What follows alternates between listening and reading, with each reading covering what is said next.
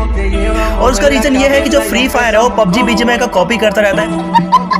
PUBG BGMI जो भी features आते हैं वो क्या करता है? फ्री फायर वाला डिट्टो छाप देता है। सबके सब चोर हैं साले। लेकिन अभी के टाइम पे ये हो रहा है कि जो फ्री फायर की जो ऑडियंस है और फ्री फायर के जो यूट्यूबर्स है वो क्या कह रहे हैं कि भाई सब फ्री फायर कॉपी नहीं करता। बाकी जो पबजी जो है वो फ्री फायर का कॉपी करता है। तेरे को बता देती ये झाटू है जो पबजी के टट्टी क्रिएटर में शामिल है। इसके चैनल खोल के देखोगे तो तुम्हें सरकारी शौचालय से कम नहीं लगेगा।